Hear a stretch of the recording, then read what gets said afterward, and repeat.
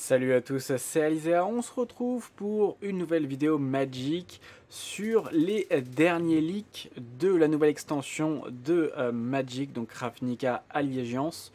On a eu pas mal de nouveautés ces derniers jours, comme vous pouvez le voir ici, euh, il y a eu pas mal de, news donc du 3 janvier, un peu du 2 janvier avec les fameux euh, bilans blanc-bleu, blanc-noir, noir-rouge, rouge-vert, euh, bleu-vert, on a les fameuses portes qui sont attachées et on a aussi les euh, fameux euh, artefacts donc, pour 3 mana qui permettent d'ajouter un mana d'une couleur et après si on le sacrifie en l'engageant nous génère du mana bicolore avec la possibilité de piocher deux cartes. Bon après ces cartes là sont pas forcément très intéressantes. Puis voilà on a quelques, quelques autres cartes depuis, depuis le 25 quoi. Sinon on se retrouve de 20-21 décembre, donc euh, fin de fin d'année dernière. Voilà, donc il y a plein plein de, nouveautés et on va aller regarder un petit peu euh, tout ça en détail. On va commencer par l'adjointe aux euh, détentions, une très très bonne carte qui est une 1-3 pour 3 mana et quand l'adjointe de détention arrive sur le champ de bataille, on exile un permanent non-terrain ciblé qu'un adversaire contrôle et tous les autres permanents non-terrain que ce joueur contrôle ayant le même nom que ce permanent jusqu'à ce que l'adjointe de détention quitte le champ de bataille. Donc ça veut dire potentiellement qu'on peut euh, nettoyer un board euh, avec cette carte là. Donc par exemple, il y a, premier exemple qui me vient en tête, le phénix. Le phénix, euh, celui qui revient quand on joue trois sorts de rituels ou d'éphémères dans, un tour. il a la célérité, la 3 de vol pour 3 mana je crois. Et ben voilà, on peut très bien retirer euh, intégralement les phénix du board euh, avec cette carte là. Donc ça peut être extrêmement puissant, on peut retirer des, on peut retirer des enchantements, on peut retirer des, planeswalkers, même si c'est pas forcément utile, parce qu'on ne peut pas avoir plusieurs fois le même planeswalker sur le, avec le même nom euh, sur le, le, board pour un adversaire, mais du coup ça peut permettre de gérer beaucoup de cartes. Les phénix, les dragons, euh, ça peut, enfin bref, ça va être intéressant sur tous ces types de créatures là. Euh, pour moi, je vois plus ça comme des créatures ou, euh, ou des enchantements de, contrôle, histoire de, voilà d'embêter l'adversaire tout simplement. C'est extrêmement puissant. Et honnêtement, une 1-3 pour 3, c'est dommage, c'est qu'une foudre, ça passe vite dessus, mais en, bleu, on a la possibilité de lui donner la défense talismanique. Donc on, a moyen de euh, garder ça euh, en vie. Ensuite, on a le familier du biomancien. C'est une 2-2 pour 2 et euh, la capacité en fait de cette créature, c'est que les capacités activées des créatures que vous contrôlez coûtent 2 de moins à activer et cet effet ne peut pas réduire bien sûr la quantité de mana à moins de 1. Et en fait, euh, on l'engage. La prochaine fois qu'une créature ciblée s'adapte ce tour-ci, euh, elle s'adapte comme si elle n'avait pas de marqueur plus 1 plus 1 sur elle. Donc euh, ça c'est petit combo avec la, capacité justement du bleu-vert qu'on verra sûrement un petit peu plus tard. Honnêtement une 2-2 pour 2 avec cette capacité là, ça peut être utile. Il faut trouver les bonnes créatures qui sont en adéquation avec ça. Euh, je pense qu'il va y en avoir, du coup euh, ça, peut, être vraiment euh, sympathique à voir. Je vais continuer à, découvrir, parce qu'il y a des cartes que j'ai déjà vues, d'autres que je ne connais pas, avec vous, et on verra si, si c'est intéressant ou pas. On a un petit Sphinx des prévisions, une 4-4 vol pour 4 mana. Et on peut décider de révéler cette carte depuis notre main de départ et si on fait ainsi, euh, regard 3 au début de votre premier entretien. Et donc au début de votre premier entretien, euh, au début de votre entretien, regard 1. Ça peut être honnêtement sympathique euh, d'avoir cette carte là. Après, je sais pas. Si, il y a pas mal de, cartes, surtout de l'enchantement qui fait défausser et à chaque fois que qu'on regarde 1. ah non, c'est non, c'est pas regard. Non, je confonds avec avec la capacité euh, bleu-noir. Autant pour moi. Euh, regard 1, oui, ça peut être utile. Euh, ça peut être intéressant de regarder la carte du dessus pour savoir ce qu'on va piocher. Pourquoi pas? Honnêtement, ça peut être efficace dans certains decks contrôle. Je pense que c'est plutôt pas mal. Puis une 4-4 vol pour 4, honnêtement, c'est vraiment pas dégueulasse. On a ici le euh, Crassis Hydroïde, une méduse hydre et bête. J'ai trouvé cette carte oufissime, comme ça, euh, sur le, papier, en lisant le truc, je fais, mais c'est énorme. Donc c'est une 0-0 euh, pour 2 mana et X. quand on lance le sort, vous gagnez la moitié de X en points de vie, et vous piochez la moitié de X en carte arrondie au supérieur à chaque fois. Donc si on met 5 mana ça devient une 5-5, euh, parce qu'elle fait euh, plus 1 plus 1 pour x, enfin x marqueur plus 1 plus 1, donc ça devient une 5-5. Elle a le vol, le piétinement, je gagne 3 points de vie et je pioche 3 cartes. Autant vous dire que c'est juste monstrueux, quoi. Cette carte-là est juste oufissime. Donc euh, vraiment extrêmement puissant, enfin moi je la trouve vraiment très très puissante mythique, donc pas une légendaire, c'est juste une mythique, donc on va pouvoir en jouer 4 dans un, dans un deck, c'est vraiment, euh, je trouve ça vraiment euh, extrêmement fort. Ça peut être joué en agressif, euh, pour avoir une 1-2-2, gagner 2 points de vie, non, gagner un point de vie, piocher une carte, pour 4 mana, une 2-2 vol piétinement, qu'on pourra booster ultérieurement. ou ça peut être joué en mid-end game pour avoir un ton un peu plus volumineux, pouvoir piocher donc plus de cartes et gagner plus de points de vie. Honnêtement, je trouve cette carte extrêmement forte. On a ensuite Absorption, c'est un, une éphémère euh, pour 3 mana, 2 bleus, 1 blanc. On contrecarre les sorts ciblés et on gagne 3 points de vie. Donc euh, l'exemple typique qui était donné, c'était une foudre. Et ben non, je perds pas 3 points de vie, je contre ton sort et j'en gagne 3. Ça peut être, euh, ça peut être intéressant comme contre. et ça vient un peu en parallèle ou en, inversion avec l'autre contre, le, le bleu-rouge qui inflige 2 de dégâts. Ça peut... Euh, on va voir si c'est jouable. Euh, enfin voilà, mais je me, je me, dis du bleu, du blanc et du rouge, ça peut être un, deck assez, assez sympathique. Euh, voir ce que, ce que ça donne avec euh, ce contre-là. Donc on a plein de contres différents qui infligent des dégâts, euh, qui euh, font gagner des points de vie, qui mettent une carte, on regarde la carte de, la bibliothèque, on peut la mettre dans le cimetière. Bref, il y a plein de types de contres et il y en aura pour tous les decks finalement. agressif, plutôt point de vie, ou... Bref, il y, y, a le choix maintenant en termes de, en termes de contres. Ensuite, on a euh, cette carte-là, Alerta Maxima en espagnol, je suppose, ou portugais. Je ne saurais pas dire. Désolé si j'en ai insulté certains. Euh, c'est un enchantement pour 3 euh, mana, donc un bleu, un blanc et un incolore. Les créatures que vous contrôlez infligent des blessures de combat égales à leur endurance plutôt qu'à leur force on se retrouve avec un, enchantement qui applique le, plus ou moins le même type de dégâts qu'avec le, dragon, euh, que je vois très peu jouer d'ailleurs, euh, qui permet aussi aux créatures défenseurs d'attaquer. Les créatures que vous contrôlez avec la défense, euh, avec le défenseur peuvent, c'est la même chose, et on dégage la créature ciblée pour 4. C'est exactement le même pouvoir, je comprends pas trop l'intérêt de ce doublon. Euh, je comprends pas trop. Je suis pas forcément convaincu par ça.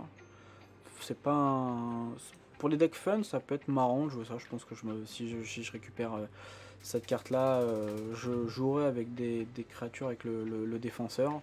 On peut même les rendre imbloquables du fait que justement elles ont toujours une force inférieure ou à 1 avec certaines cartes. Mais euh, pour moi, c'est pas compétitif, clairement pas. À voir s'il y a des choses intéressantes de proposer.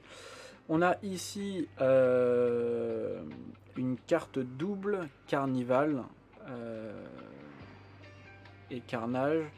Alors pour un mana, donc ici sur la partie en bas, on inflige un de blessure à une cible créature ou joueur et un de blessure à son contrôleur.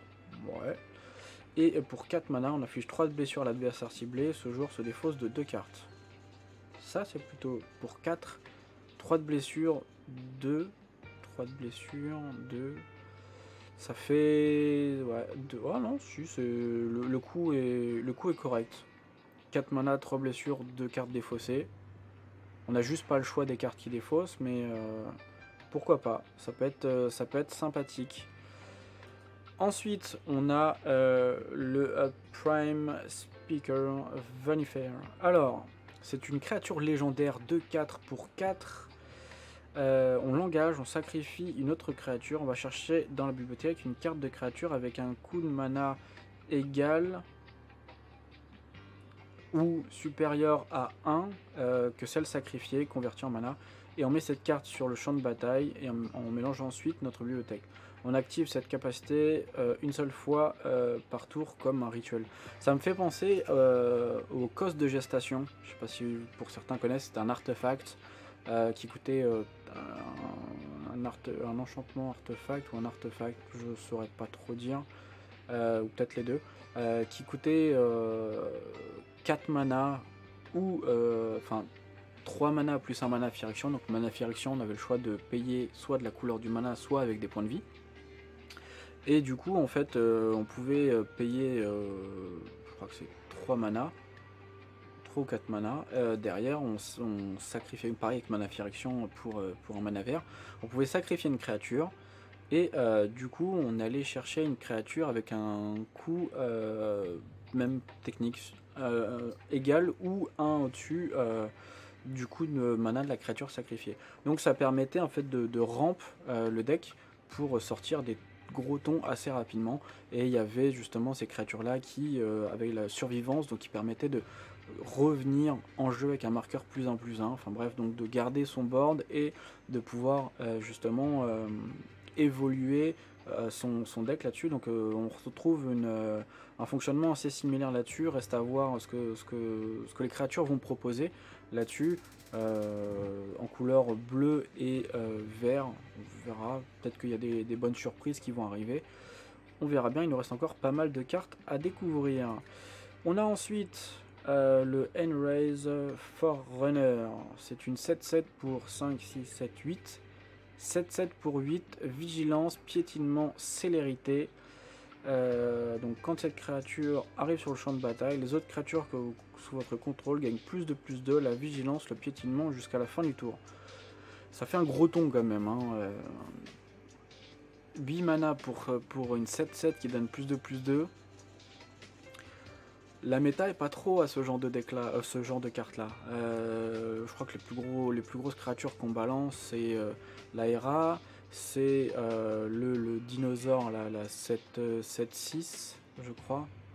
7-6 piétinement, euh, défense talismanique. Donc il n'y a pas vraiment mise nivette, Nive Misette. Je vais y arriver avec cette carte.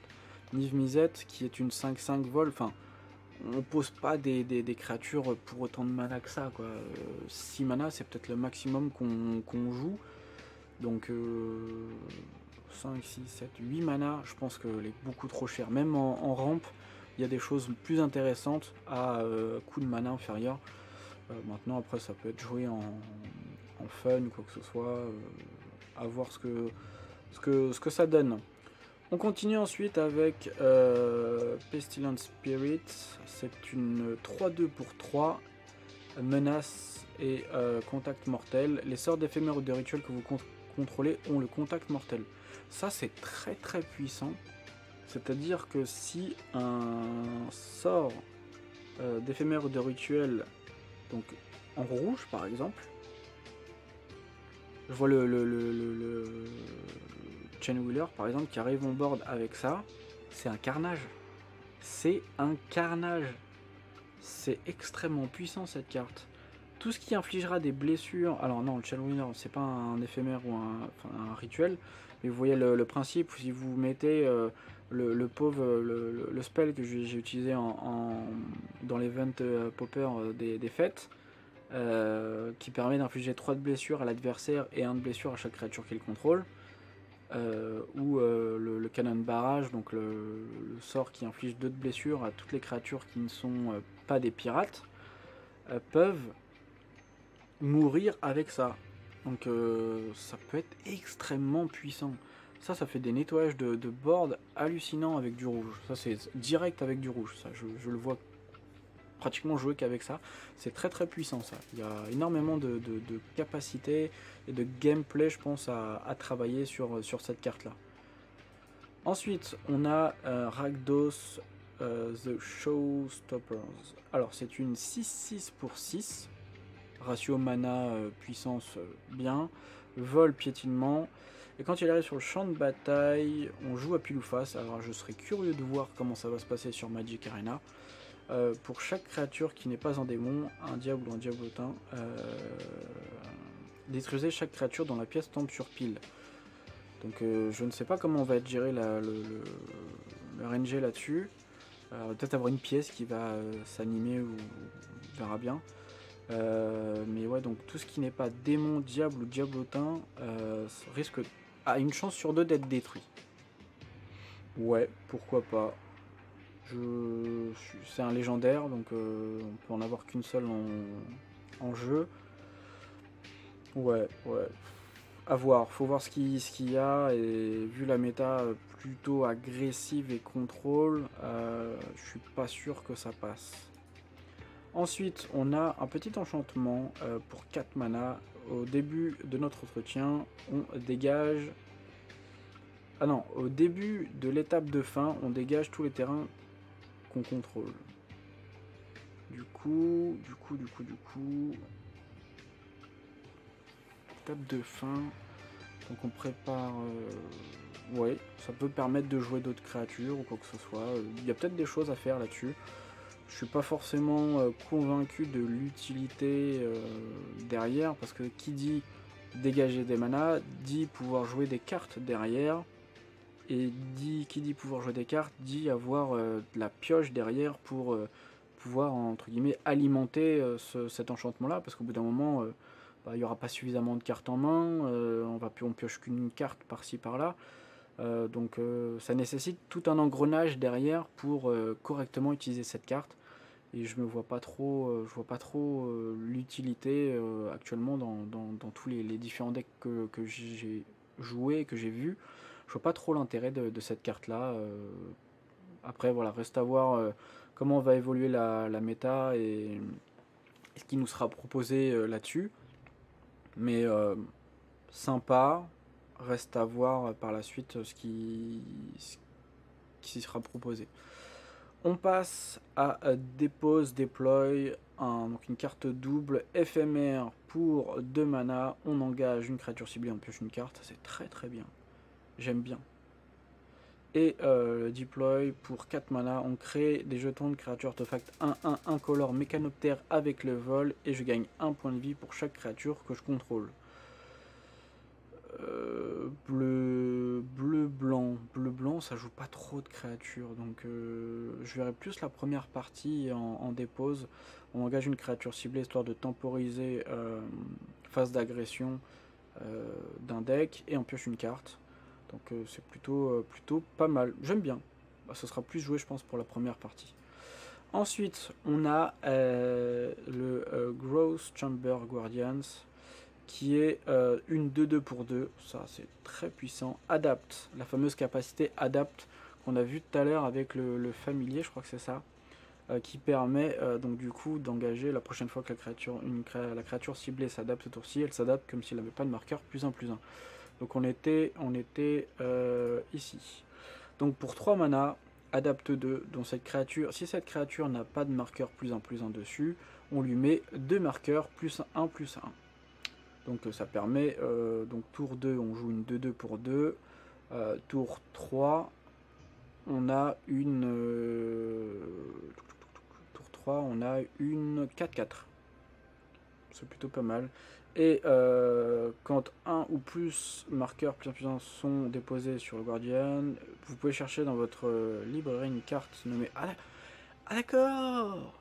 Ok, donc en fait, tour 2, on pose une de 2, tour 3, on lui met un adapt, ça devient une 4-4 pour 3, ah, une 4-4 pour 2, qui nous permet d'aller chercher euh, cette même créature pour pouvoir la jouer tour 4, et donc tour 5 d'avoir une... Ok, d'accord, qui va nous chercher, ok. Et euh, potentiellement, on peut euh, faire ça chaque tour avec euh, le petit, le petit familier. Donc potentiellement, tour, donc tour 4, on peut remettre deux marqueurs plus 2, plus 2. Donc tour 4, ce sera une 6-6. Ah, ça, commence à, ça commence à piquer. Il y a peut-être honnêtement, elle est plutôt sympa. donc à voir après s'il y a tout ce qui est autour qui, qui, est cohérent. Mais cette carte là est vraiment sympathique. On passe au Bolrak Clan Crusher qui est une 4-4 pour 5. Et quand on l'engage, on retire un marqueur plus 1 plus 1 d'une créature qu'on contrôle. Et il inflige 2 de blessures à, à n'importe quelle cible. Ok. Ouais. Ah, le fameux euh, marqueur plus 1 plus 1 qui, euh, sur ce, combo de couleurs euh, rouge et vert, soit on choisit pour certaines créatures la célérité, soit on met un marqueur plus 1 plus 1. Ouais, pas convaincu, je pense pas que ça soit joué, c'est pas assez puissant pour, pour être intéressant. Ensuite, on a l'escoufle en fer, Skargan, Skargan, je sais pas comment ça se prononce. Euh, une 4-4 pour 5 euh, avec la fameuse émeute. Cette créature est sur le champ de bataille soit avec un marqueur plus 1 plus 1, soit avec la célérité. Elle a le vol. Et euh, pour 4 mana, l'escoufle en fer inflige 2 de blessures réparties comme vous le désirez entre une ou deux cibles. N'importe quelle cible, joueur, créature, planeswalker, c'est vous qui voyez. Et on active cette capacité que si l'escoufle en fer a un marqueur plus 1 plus 1 sur lui. Donc, euh, donc euh, du coup, ouais, ouais.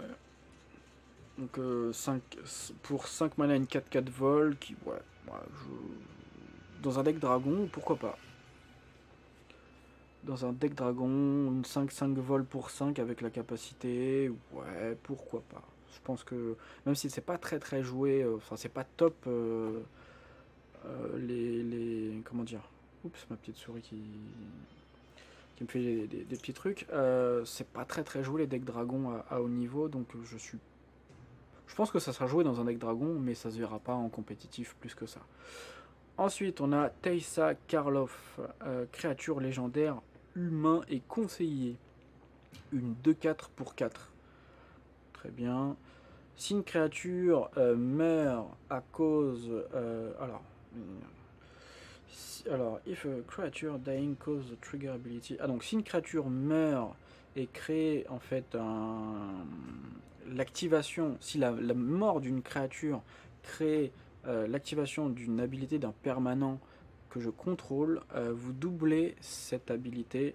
Euh, enfin, vous, vous le rajoutez une fois de plus. Donc, je te un exemple. Si il y a une créature qui dit quand elle meurt, piochez une carte et eh bah avec cette carte là, c'est cette créature meurt, tu pioches une carte et tu le refais encore une fois. Et euh, les créatures tokens que je contrôle ont la vigilance et le lien de vie. Très puissant. Dans un deck token, un, un blanc-noir token avec des capacités. Euh, c'est. Où est-ce qu'elle était? Non, ça c'est du blanc-bleu j'ai hésité. Non, ça peut être sympa. Dans un deck token, surtout qu'il y a beaucoup de tokens euh, en blanc, blanc ou vert. Alors, est-ce que blanc-vert splash noir À voir. Ou blanc-noir tout court? On verra bien, mais il y a déjà beaucoup de tokens. Enfin, la possibilité de créer beaucoup de tokens euh, avec, avec ce, duo de couleurs. Donc, euh, je pense que c'est une bonne carte. À voir comment elle va, elle va être utilisée, mais il y a moyen de faire des choses. Ensuite, on a Spawn of Mayhem, qui est une 4-4 pour 4, encore un coup de mana rond, par contre c'est une mythique, euh, avec Spectacle. On peut jouer cette carte avec le Spectacle. Donc, you make as spell for... Alors, c'est quoi déjà la capacité? Vous pouvez lancer ce sort pour son coup de spectacle à la place de son coup de mana si un adversaire a perdu des points de vie ce tour-ci. Voilà, donc on peut jouer une 4-4 pour 4 ou on peut jouer une 4-4 pour 3 si l'adversaire a perdu des points de vie. Donc si on a lancé un petit spell qui fait perdre 2 points de vie, euh, il y en a noir il y en a des masses. Euh, vol, piétinement et au début de alors au début de votre entretien euh, cette créature inflige 1 de blessure à chaque joueur puis si vous payez 10 points de vie ou moins mettez un marqueur plus 1 plus 1 faut, faut, faut, récupérer beaucoup de points de vie. Euh, en quoi il inflige aussi, il vous inflige aussi un de dégâts. Ok. Ouais, ouais. Je. Une 4-4 pour 3, vol, piétinement. 10 points de vie pour avoir un marqueur plus 1 plus 1 dessus. Je suis pas convaincu. Hein. Je suis pas convaincu. Ensuite, précognitive perception. Donc un éphémère pour 5. Piocher 3 cartes. Et euh, Adanta, si vous avez lancé ce sort pendant votre phase principale à la place, regarde 3, puis piocher 3 cartes. D'accord, donc soit on pioche 3 cartes, soit si c'est pendant notre tour principal, on regarde 3 et après on peut piocher 3 cartes. permet de savoir ce qu'on pioche. Ouais, ça reste cher quand même. Hein. Les... sorts de pioche actuellement sont plus aux alentours de 3 mana que de 5. Hein. Mais bon, à voir. À voir, à voir. Ensuite, nous avons une petite Givre Ravager Worm avec l'émeute. Donc c'est une 4-5 pour 3, 4, 5, 6 mana, dont un rouge et deux euh, verts. Donc 6 euh, mana, 4-5 avec soit euh, célérité, soit un marqueur plus 1 plus 1. Et quand il arrive sur le champ de bataille, il se bat soit... ah c'est jusqu'à 1. Donc c'est-à-dire qu'on peut choisir... ah non, jusqu'à 1. C'est pas les deux. Donc c'est rien, 1 c'est tout. Donc, soit il arrive sur le champ de bataille et il se bat contre une créature ciblée que je ne contrôle pas, soit il arrive et détruit un terrain ciblé avec une capacité activée qui n'est pas une capacité de mana. Donc tous les terrains qui font, euh, qui, enfin les, souvent c'est des enchantements qui se transforment en terrain. Euh, bah tout ça, ça dégage avec ça. Ça peut nettoyer le board euh, avec avec cette créature là. Ça peut être, ça peut être Honnêtement, ça peut être très puissant contre des decks un peu contrôle. Euh, euh, on peut lui mettre la célérité et en plus détruire soit euh, détruire une créature ou un, terrain. ça peut être honnêtement ça peut être sympa. À voir comment ça va être utilisé, mais il y a peut-être il y a moyen de faire des choses avec. Ensuite, nous avons Seraph of Scales, c'est un ange, une 4-3 pour 4. Moi j'adore les anges. Elle a le vol. Euh, pour un mana, elle gagne la vigilance. Et pour enfin, un mana blanc, elle gagne la vigilance. Pour un mana noir, elle gagne le toucher euh, contact mortel jusqu'à la fin du tour. Et elle a un afterlife de 2 si cette carte, cette créature meurt. Créer euh, deux marques, de jetons. Un 1 noir et blanc esprit. Voilà, donc le fameux, le fameux bonus euh, alors c'était où? C'était c'était là que je me retrouve. Où est-ce que tu étais? Cette carte qui double. Voilà.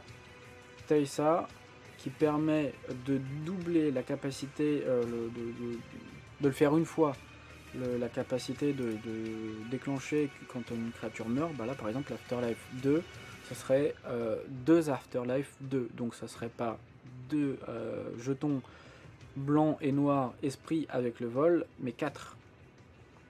Et honnêtement, euh, ça commence à faire un peu du surnombre. Il suffit juste après de les booster. Et en blanc, il y a plein de choses pour booster. Il y a moyen de faire quelque chose. Ensuite, Amplifier, en tout cas, pour revenir à cette carte, je la trouve vraiment stylée. Déjà, l'image est, géniale. Mythique, honnêtement, je la trouve sympa. Et il y a moyen de se faire un petit deck ange euh, rouge, noir, blanc. Je pense qu'il y a moyen de faire des petites choses avec ça. Ensuite, euh, Amplifier. Amplifier, euh, c'est une créature élémentale. Pareil, ça, j'ai trouvé ça ouf. Pour 4 mana, c'est une 1-1. Au début de votre entretien, on révèle la carte du dessus de votre bibliothèque jusqu'à ce que vous révéliez une carte de créature.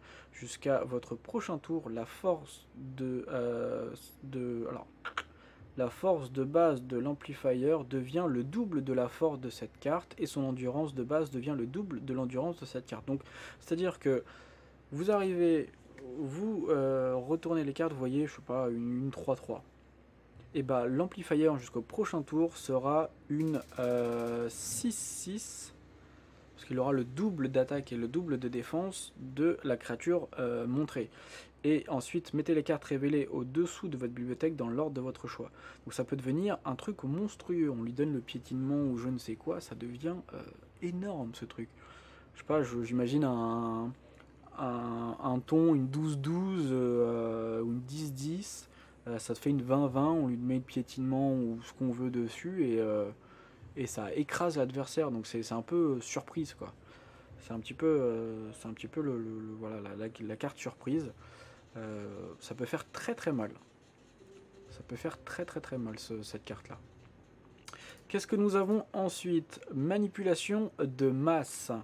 C'est un rituel pour 4 mana bleus plus double X.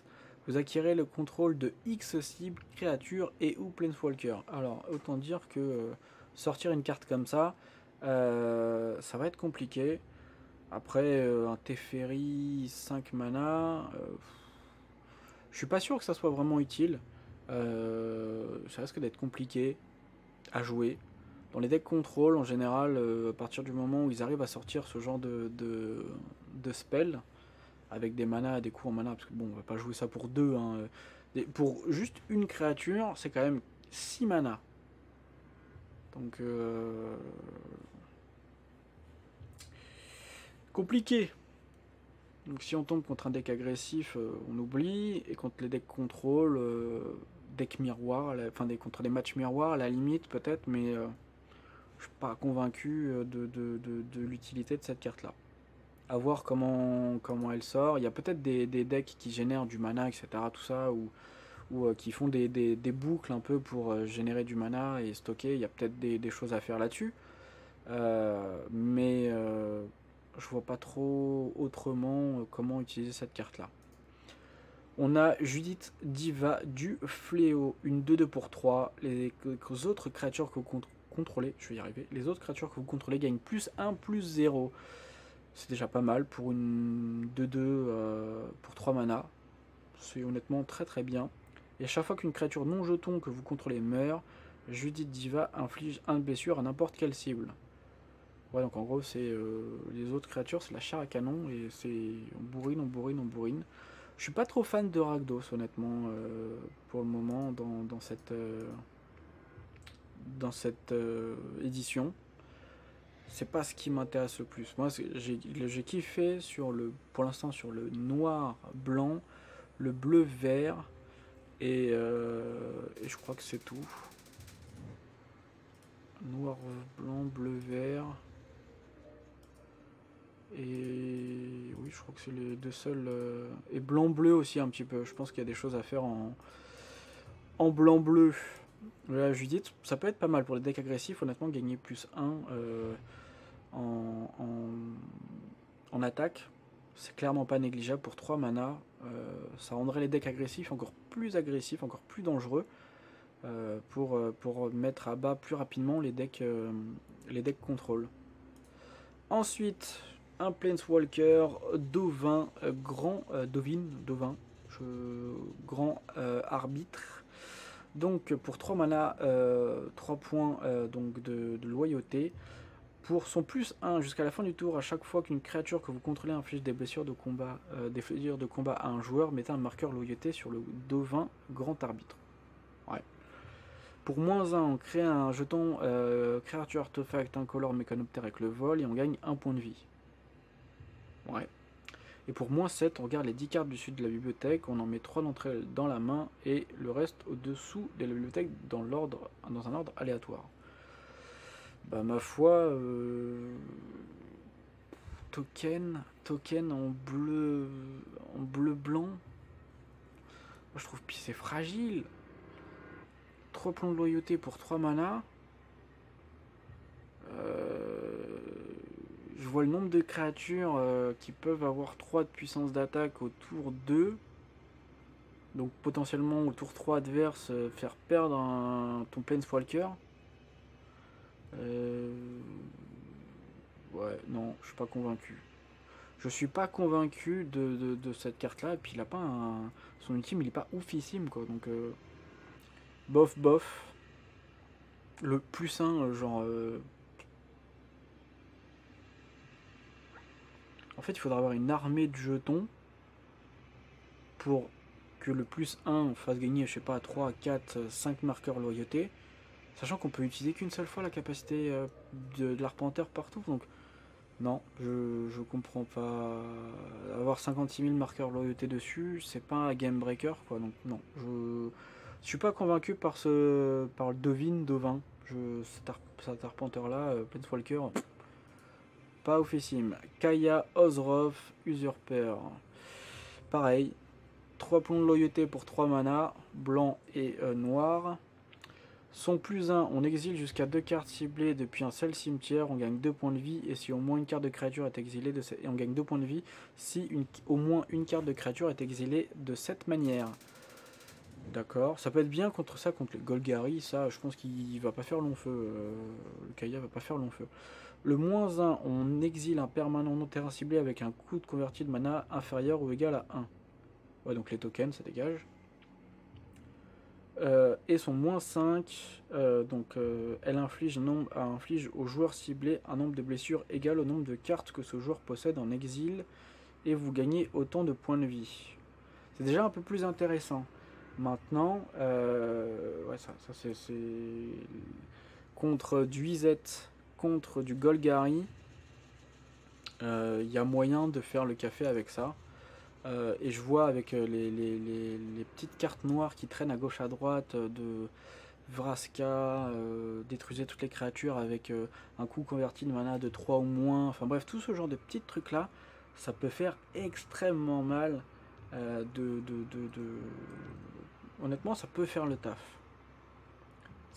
Celle-là, elle peut être sympa. Quand je, je, je, vois la méta et je vois un peu le, blanc, le, noir, la capacité du noir à contrôler, le blanc pareil à contrôler, euh, il y a moyen de, de faire des choses avec, avec ça. Et on arrive sur la dernière carte, le dernier leak euh, de euh, Ravnica Allégeance pour l'instant qu'on a. Et eh ben ma foi, c'est plutôt pas mal, euh, plutôt pas mal. Blanc, noir, vert, bleu et euh, blanc-bleu m'ont l'air vraiment sympathiques. Rakdos, je suis pas fan du tout. Euh, je suis pas fan du tout. donc on va voir ce que, ce que ça donne, sachant que l'extension sortira donc le 25 janvier en papier et je crois, si je dis pas de bêtises, le 17 janvier sur Magic Arena. Euh, donc euh, je vous ferai une session d'ouverture de booster euh, à ce, plus ou moins cette, cette période-là pour que vous puissiez découvrir pour ceux qui attendent la version papier bah, les, cartes en question, l'ouverture de booster, tout ça, tout ça, voir un peu ce qu'on va pouvoir faire là-dessus. En tout cas, n'hésitez pas à mettre un pouce bleu en bas de la vidéo si vous avez aimé, n'hésitez pas non plus à vous abonner à ma chaîne pour voir de futures vidéos Magic et Magic Arena. Moi sur ce, je vous laisse là et je vous dis à la prochaine. Ciao ciao tout le monde.